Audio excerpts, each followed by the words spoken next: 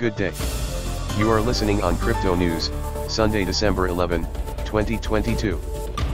After observing unusual price changes for specific trade pairings involving the token Sun token, Sun, Ardor, ARDR, Osmosis, OSMO, Fun token, Fun, and Golem, GLM, the cryptocurrency exchange Binance started looking into any suspicious activity on its platform.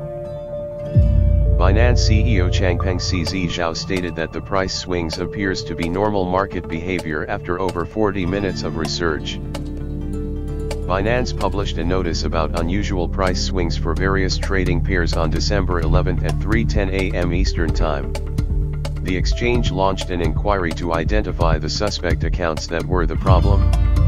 To the relief of investors, Binance's inquiry found no evidence of compromised accounts or stolen API credentials. Nevertheless, the exchange took preventative action against potential manipulation.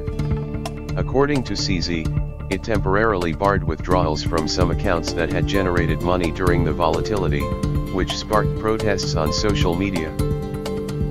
The concerns about centralization and corporate engagement during comparable situations were further addressed by CZ, who said, there is a balance to how much we should intervene.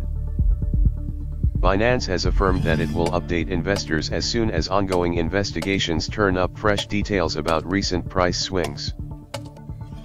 Thank you for listening. For more crypto update, don't forget to subscribe and hit the notification bell.